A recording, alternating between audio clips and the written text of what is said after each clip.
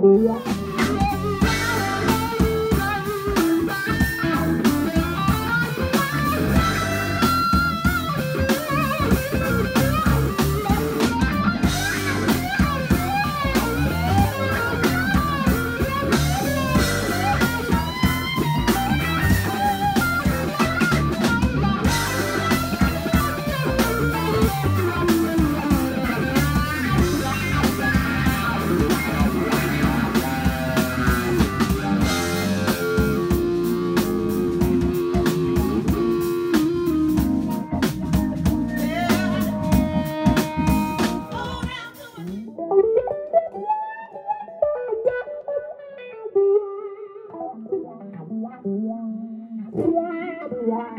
You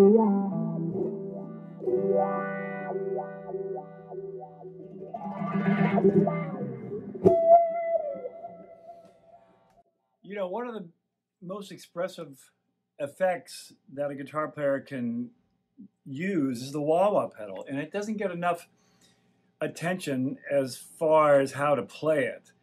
Um, I mean, when I think back to some of my earliest guitar influences, Jimi Hendrix, of course, Eric Clapton, um, White Room, Terry Kath from before the old Chicago Soul. I mean, there's some incredibly expressive things were done with the wah wah, and nobody's really ever talked about the technique of playing wah wah that much. And I'm going to try to do that for you a little bit here, um, and try to step you through how I use it, and um, and how I think it, it could be a big plus to your arsenal of effects in your guitar world.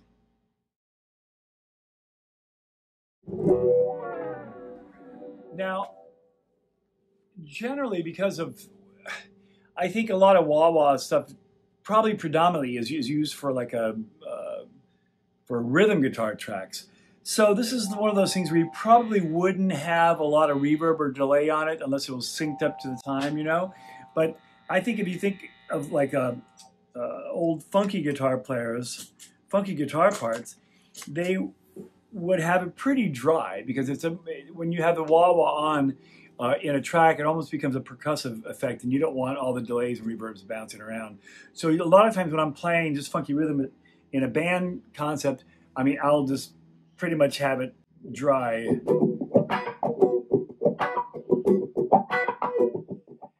And that's probably rule number one if you're going to play a wah wah part on a track you know playing funky rhythm behind somebody else is not to have a lot of delay and stuff going on because um, it just kind of gets in the way of the percussion uh, uh, effect of wah wah itself.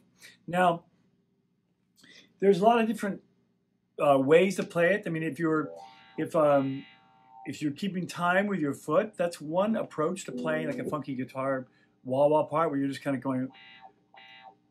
So if I put on, if I put on a track behind me,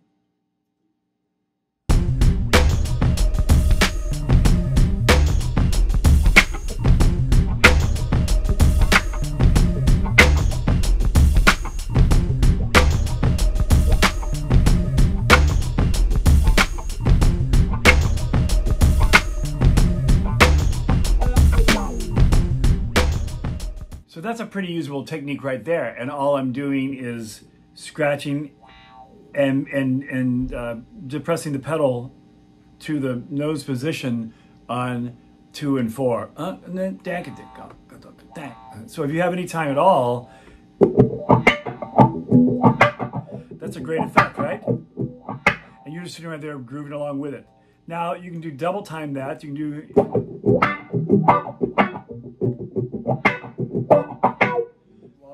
can do it either as a steady pulse like that to keep a groove going, or I can actually kind of improvise with it, where I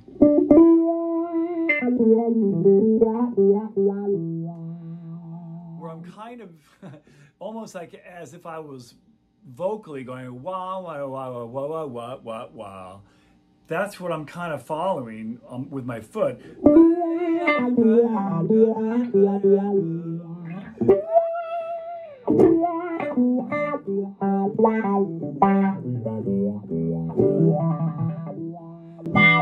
So that's another effect too. You can do that, um, and it's easy to do. I mean, you can just get used to kind of singing, depressing, depressing the pedal along with your singing. So I'm kind of talking like this, where I'm kind of following what I'm saying with the wah wah pedal.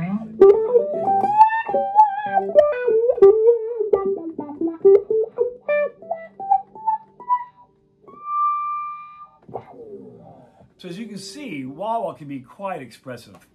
Um, you can use it for like an ambient texture thing, which I do sometimes with a, I might actually add a little reverb in this case and do like a, a quick uh, wash.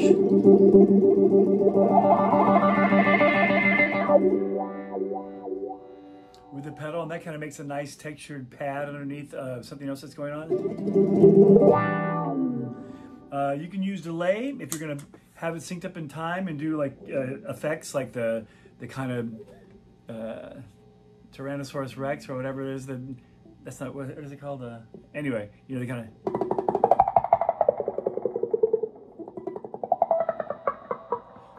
that's kind of a nice effect, I guess, you want to do in the middle of a track. Uh, but that's for ambience and effects. The general use of wah wah, uh, I tend to keep it pretty dry.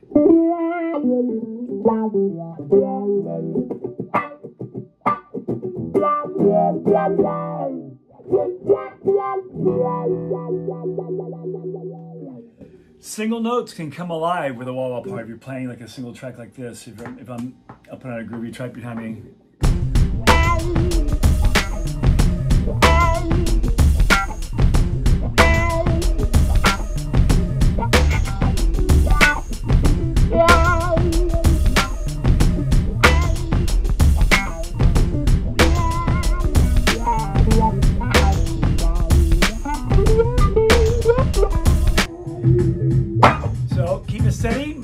Steady um, quarter notes.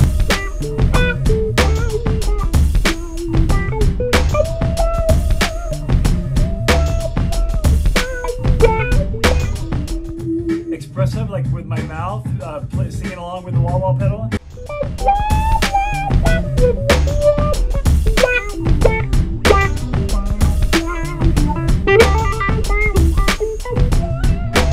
The chordal wash effect.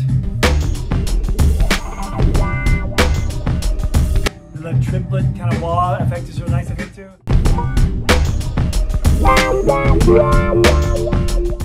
Becomes your pulse, you know, in, in time with music.